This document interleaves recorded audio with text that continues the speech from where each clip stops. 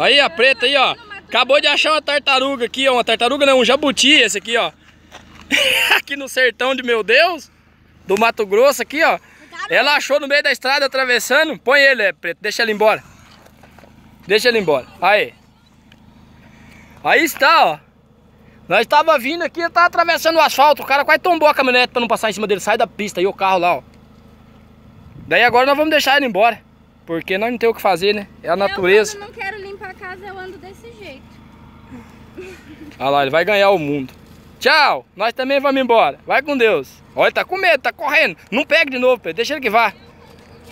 Preto, deixa o bicho embora. deixa embora. Gostou do bichinho? Deixa o bicho embora. Ele vai morder se você põe a boca perto dele aí. Olá. Ó o medo.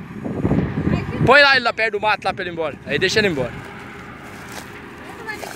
Aí ele vai embora agora. Deixa ele que vá pra natureza, pra vida, o habitat natural dele. Tchau, até a próxima. Vamos embora também.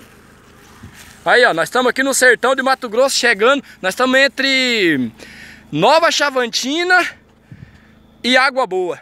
Estamos uns 20 quilômetros para chegar em Água Boa aí. Até mais. Vamos embora.